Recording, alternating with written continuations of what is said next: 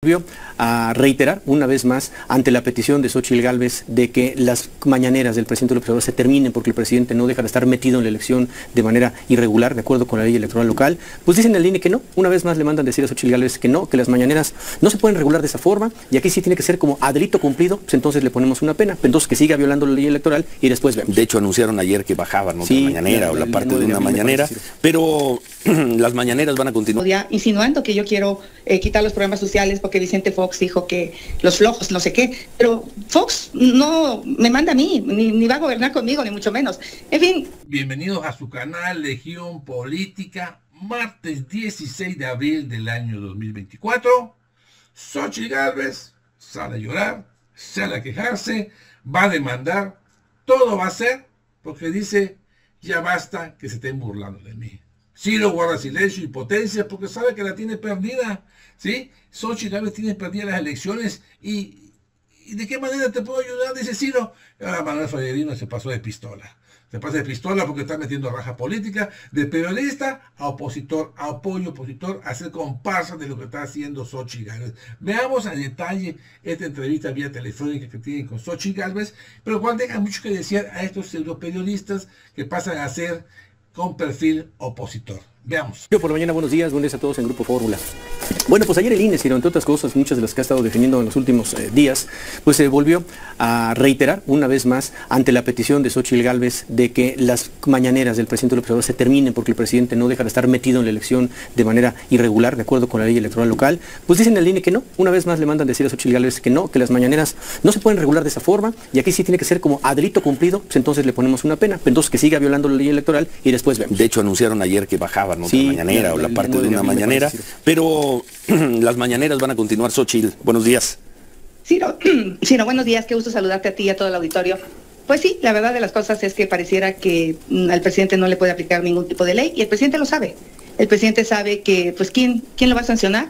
Eh, el Tribunal Federal Electoral prohibió, pues, obviamente, el que pudieran cancelarse las mañaneras por un tema de censura, lo cual me parecería adecuado. El problema es que el presidente no le importa violar la ley, él sabe que no puede meterse en el proceso electoral. Quizá el daño que más me hizo a mí en su mañanera es esta aseveración de que yo quería quitar los programas sociales. Y esta aseveración se ha replicado de manera sistemática eh, porque yo dije en una declaración que mi abuelo me había enseñado a trabajar desde niña y que nos decía que nos teníamos que ganar la comida trabajando. Eso es lo que yo conté, pero dije, los programas sociales son necesarios, hay que tenerlos y obviamente hay que apostarle al crecimiento económico y a los jóvenes hay que darles clases de inglés, eh, robótica, inteligencia artificial, habilidades eh, y competencias laborales. Eso es lo que dije en Guadalajara. Yo nunca propuse quitar los programas sociales. Eso se ha llevado al extremo de que hoy hay un spot en la tele de Claudia insinuando que yo quiero eh, quitar los programas sociales porque Vicente Fox dijo que los flojos, no sé qué, pero Fox no me manda a mí, ni, va a gobernar conmigo, ni mucho menos. En fin, por lo tanto, también pedimos que como las mañaneras se han vuelto el mecanismo de promoción del presidente, pues el INE hiciera una campaña fuerte aclarando que los programas sociales no le pertenecen a ningún partido político, porque si te das cuenta, de no ser por eso, hoy, hoy Morena estaría fuera. La gente está enojada por la seguridad, está enojada por el tema de salud, está enojada por la carestía, eh, y lo que lo sostiene es eso. Por eso cuando propuse eso en el INE, pues se pusieron como locos los de Morena eh, diciendo que no, que no se hiciera eh, una campaña de ese tipo en el INE. Ya está la campaña al aire, habla de varios delitos electorales, no es tan explícita como nosotros planteamos, habla de despensas, habla de coacción del voto, habla de programas sociales y habla que denuncias. Eso es lo que está en la campaña. Y pues en ese sentido eh, ya quedó claro que pues no va a haber nadie que se le ponga al presidente más que el voto de los ciudadanos conscientes que están cansados de tener un presidente que se meta desde la eh, presidencia de la República a favorecer a su candidato. No tiene caso insistir por ahí, según lo que nos estás diciendo. Vamos a ir al tribunal, eh, vamos a impugnar esta resolución en el tribunal hay 25 medidas cautelares contra el presidente Sirvo. O sea, no es una mañanera, no es algo aislado, son 25 ocasiones en que el presidente se ha metido en el proceso electoral. En varias de ellas denostándome, en varias de ellas asegurando que yo soy una candidata producto de un grupo de hombres que me pusieron aquí, haciendo violencia política en razón de género, y ni así el INE se atreve a cancelarle al presidente la mañanera. Este, no sé si ya de plano eh, un día antes el presidente vaya a hacer un llamado al voto desde Palacio Nacional a favor de su candidata, porque además falta eso, ya, todo lo hizo, ya eh, ensalza sus cualidades, eh, sale a defender desde la mañanera a quienes son señalados de corrupción, como es el caso de Saldívar en lugar de que diga pues que se investigue, ¿no? que se presenten las pruebas, sale inmediatamente a defender a los allegados a la campaña de la señora Sheinbaum. Entonces, eh, pues yo le diría a los que me están escuchando, hoy más que nunca necesitamos redoblar el esfuerzo porque seguimos enfrentando pues una elección de Estado.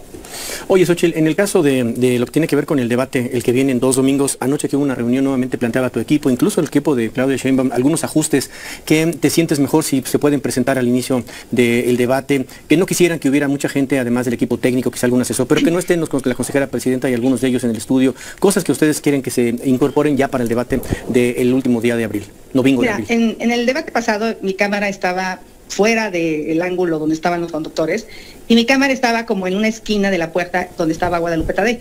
Entonces, realmente era un lugar súper incómodo, yo siempre me vi de lado, eh, la producción técnica fue fatal, no tuvimos monitor, fallaron los relojes, todo esto que ya todo el mundo sabemos.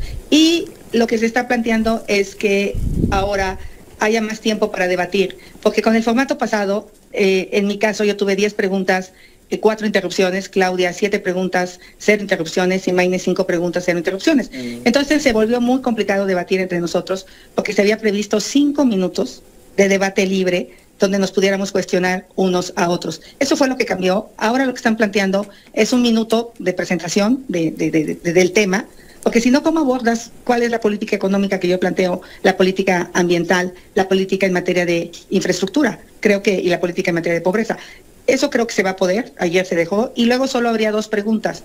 Una pregunta de entrada, y una pregunta para abrir el debate, y el temor de ellos es qué pasa si nadie toma la palabra. Yo no creo que eso suceda. Si vamos a debatir, vamos a tomar la palabra. Creo que ese es un formato que va a prestarse realmente a contrastar ideas. Por ejemplo, yo quise cuestionarle a, Claudia lo de los 40 feminicidios, el 40% de reducción de feminicidios, que es falso, y el hecho de que ya no quisiera hablar de mujeres. Y en ese momento se cambió de tema y pues ya se me hizo una pregunta distinta. Y creo que no se prestó a, que pudiéramos debatir como se debe y yo espero que este nuevo formato que se está planteando sea mucho más ágil. ¿Y cuándo se acuerda? ¿Mandé? ¿Cuándo lo acuerdan? Se planteó ayer, eh, hoy lo va a decidir el INE, eh, entiendo que estuvo Guadalupe Tadei. En la reunión que estuvimos, eh, Guadalupe Tadei dijo que sí iba a estar en los otros dos debates, eh, y yo creo que pues está en su derecho, pues es la presidenta del INE, simplemente pues hay que buscar el espacio donde... A donde no estorbe, pues. Pues donde esté, ¿no? Yo creo que eso es lo que pasó en el pasado debate, era tan pequeño el espacio, pues que era un amontonadero hacia donde estaba mi cámara y había más personas inclusive que no debían haber estado ahí.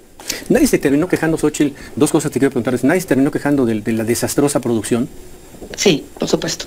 Por supuesto. Pues, Ese fue parte del tema que nosotros planteamos. Sé que lo hicieron todos los partidos. No tuvimos un monitor, o sea, no podías verte, no podías saber qué estaba pasando. Pues obviamente mi reloj empezó friciado. Este, no sabías cuánto tiempo te quedaba, te ponían, te sumaban, te quitaban. Sí fue un desastre. Eh, la verdad, eh, y yo espero que la producción, creo que se hizo una licitación pública, por lo que dijo La, presidenta, y, y eso pues tendría que eh, revisarse si va a ser la misma productora, pues que al menos lo hagan de una manera más eficiente. Mejor. Oye, y preguntarte, porque no lo registramos, ¿sacó finalmente Claudio Sheinbaum ese comunicado que dijo que iba a sacar para aclarar la relación de su familia y las cuentas registradas en Panama Papers? No lo vimos, Ochi. Fíjate que ese es un tema, Claudia se atrevió a decirme que era una mentirosa, se me dijo, eres una mentirosa. Eh, es falso, y al día siguiente dijo que bueno, su abuela, sus tías... Sus tías que sí tenían las cuentas, que sí existían. Que sí existen las cuentas, dijo que sacaría un comunicado el martes por la tarde, ha pasado ya prácticamente una semana. Yo creo que no se atreve a decir que la mamá tiene cuentas en un paraíso fiscal. Y todos los mexicanos saben que cuando tú te vas a un paraíso fiscal, pues es para evadir impuestos. es para eso. Este, pero no lo ha aclarado eh, y yo sí le exijo que lo aclare, porque hay muchísimas evidencias que han subido a las redes sociales sobre la posibilidad de que su mamá sea dueña de una cuenta. Y el otro tema que no aclaró y que sería importante que aclarara, a mí me aseguró ahí que ella vivía en una casa rentada. Por cierto, cuando yo dije que si a los 60 años no vivías, no tenías dinero propio, era para Claudia, no era para los mexicanos. ¿Pero qué pues, pasa con la casa rentada? Pues que tenía cuatro casas en 2018, en su declaración patrimonial, y desaparecieron de la de 2023. Digo, no queda claro. Ella tenía cuatro casas. Ella tenía propiedad de una casa, así lo declaró en su declaración patrimonial. Tenía una casa en Tlalpan, otra casa en copropiedad con su ex esposo en Cuernavaca y tenía dos departamentos. En, eh, una en Coyacán, una en Cuernavaca y dos departamentos en Tlalpan. Eso dice la declaración del 2018. va a estar bueno el, siguiente debate. bueno, no está bueno, sí. Gracias, Ahí lo tienen amigos, desencajado, desboronado, decepcionado, derrotado, así está Ciro Gómez Leiva, haciendo raja política Manuel Ferrerino en su papel, diciendo prácticamente Ciro, ya, ya no puedo, eso ya es bola cantada, ella nada más se queja, queja, queja, no hay propuestas, no hay proyectos, solo es AMLO, solo este, Claudia Sheinbaum, que Claudia Sheinbaum no se, no se pintó una rayita de cabello, Ahí está Claudia Sheinbaum. ¿Dónde están tus propuestas, Xochitl ¿Dónde están? ¿Cómo convencer que quieres que voten por ti? ¿Dónde? No hay. Sido, su cara lo dice todo, cara de derrotado, cara así, decepcionado porque este arroz ya se coció y obviamente el que pasa a ser papel opositor, el de la comparsa de opositor, ahí está su hijo Manuel Fredino. Ahí está la información amigos, amigas, compártanla y suscríbanse a su canal Legión Política. Yo soy Francis, nos vemos.